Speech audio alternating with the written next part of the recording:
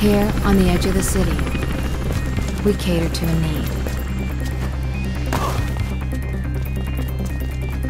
People need to transport information without being observed. Normally, the cops leave us alone. They've got bigger fish to fry. Now, things have changed. Something is happening.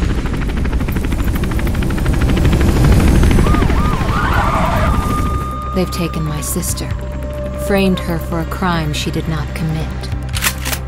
And now they're hunting me.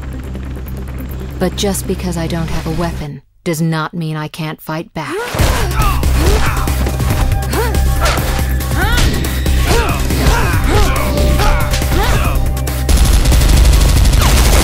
So now I'm coming after whoever is behind this.